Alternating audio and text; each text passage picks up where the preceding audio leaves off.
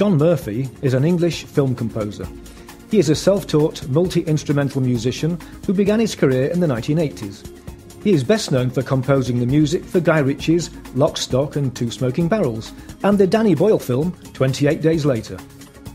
You are listening to Secklow Sounds. Check us out on Twitter at Secklow Sounds and email radio at secklowsounds.org.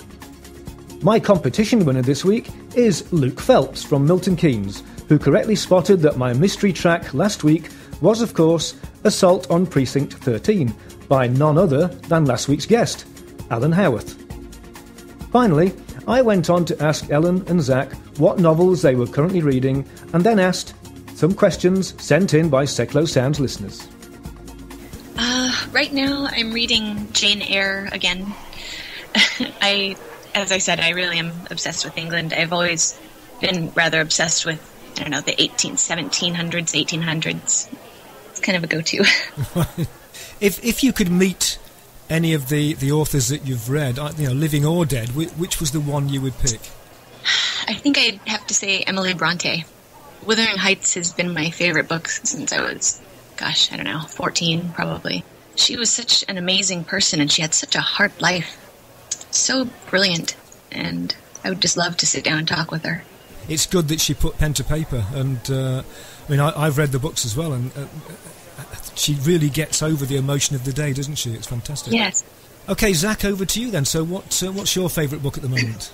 The book I'm currently reading is This Book is Full of Spiders by David Wong. Uh, that is the sequel to John Dies at the End. Ah, right. Um, and yeah, incredible. Right, and uh, same question to you, really. If, which author would you like to meet? Hmm. Well, he wasn't an author, but he did write, so I guess I'd say Carl Jung.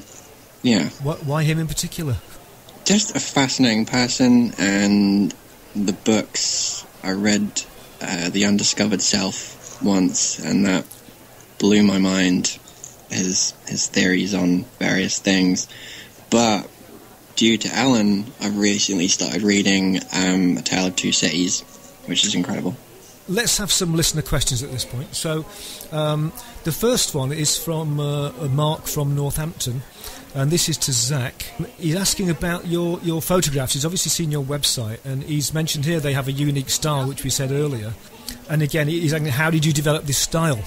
By sheer accident.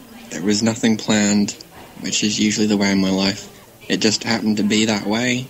Uh, like I said, I've worked with Sam Cooper before, and his style is, you know, we're, we're not alike in any way, shape, or form, but it was just, it just came into being. It just was the way that I chose to do it.